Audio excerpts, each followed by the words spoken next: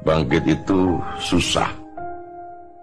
Susah melihat orang lain susah, senang melihat orang lain senang. Bangkit itu takut. Takut korupsi, takut makan yang bukan haknya. Bangkit itu mencuri. Mencuri perhatian dunia dengan prestasi.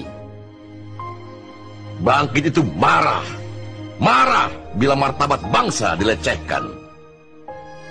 Bangkit itu malu. Malu jadi benalu.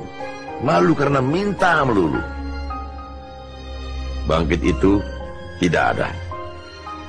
Tidak ada kata menyerah. Tidak ada kata putus asa. Bangkit itu aku untuk Indonesiaku.